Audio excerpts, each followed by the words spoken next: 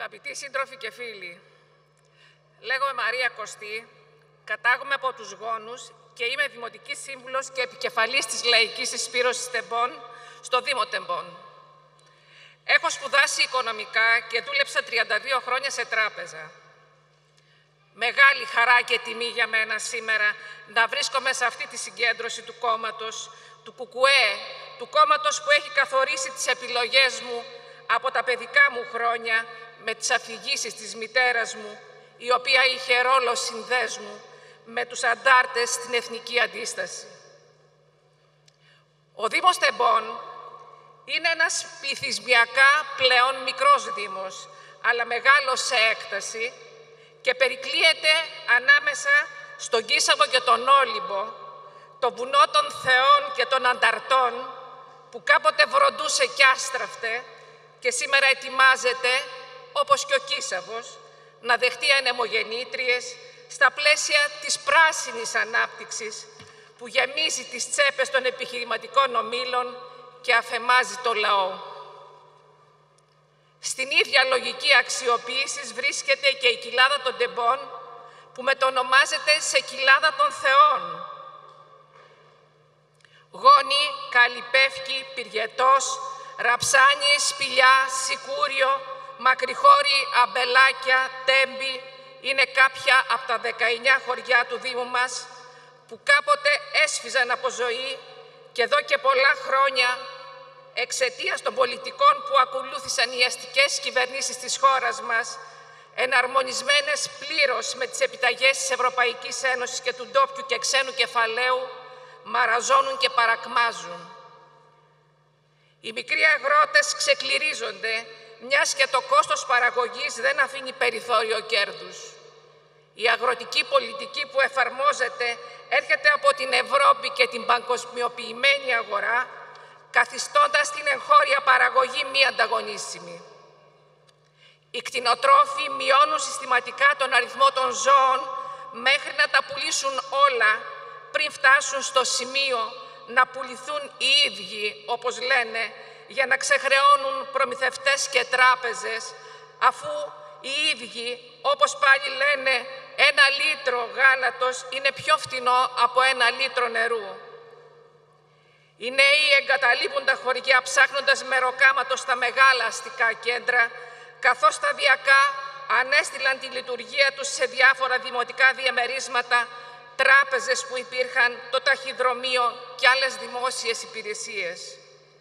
Επιπλέον, ένας σημαντικός αριθμός βιοτεχνιών που δραστηριοποιούνταν παλιότερα στην περιοχή έχουν κλείσει κάτω από την αφόρητη πίεση του ανταγωνισμού, αφήνοντας εκατοντάδες συνδημότες μας χωρίς δουλειά.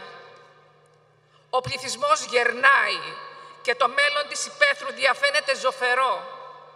Όταν τελείωσα το Λύκειο, ήμασταν 76 παιδιά στην τρίτη Λυκείου στους γόνους και σήμερα δεν είναι καν 76 τα παιδιά όλων των τάξεων του Λυκείου. Πολλά σπίτια απαξιώνονται εγκατελειμμένα χωρίς δυνατότητα συντήρησης από τους ιδιοκτήτες τους. Η παρακμή των χωριών γίνεται έκδηλη και με την παραβατική συμπεριφορά ιδίως των νέων παιδιών. Αυτή η νέα γενιά αντιμετωπίζει τρομερά αδιέξοδα, χωρίς δυνατότητα διαφυγής από την μίζερη καθημερινότητα, μιας και η όποια δημιουργική απασχόληση, όπως η άθληση, η μουσική, η ζωγραφική, είναι δραστηριότητες με ανταποδοτικό χαρακτήρα. Αυτό σημαίνει ότι αν δεν βάλεις το χέρι σου στην τσέπη, δεν μπορείς να δέχεσαι καμιά υπηρεσία. Οι μορφωτικοί και πολιτιστικοί σύλλογοι που παράγουν έργο είναι λίγοι και η οικονομική τους κατάσταση άθλια. Σε όλα τα παραπάνω προσθέστε την έλλειψη προοπτικής για μια καλύτερη ζωή όταν κάποιος βλέπει τους γονείς του να στριμώχνονται οικονομικά κάθε χρόνο και περισσότερο, την ανεργία να καλπάζει και την κοινωνία να βυθίζεται στην υποκουλτούρα των reality και των φτηνών θεαμάτων.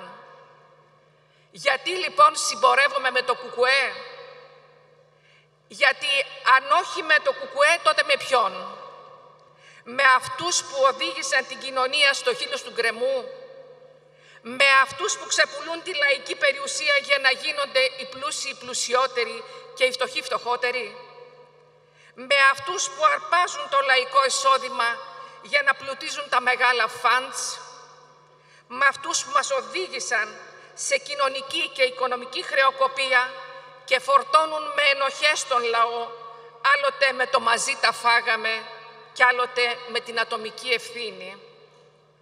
Με αυτούς που ανάγκασαν τα παιδιά μας, ανάμεσα σε αυτά τα παιδιά και τα δικά μου παιδιά, να εγκαταλείψουν τη χώρα τους προκειμένου να μπορέσουν να επιβιώσουν και να ασκούν το επάγγελμα που επέλεξαν να σπουδάσουν.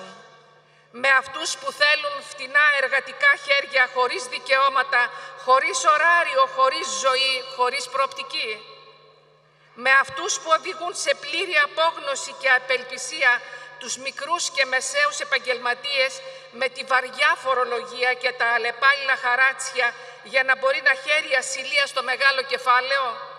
Με αυτούς που ετοιμάζουν να στείλουν τα νιάτα μας στο σφαγείο των υπεριαλιστικών πολέμων για να είναι πάντα τα καλά παιδιά του ΝΑΤΟ, των ΗΠΑ και της Ευρωπαϊκής Ένωσης.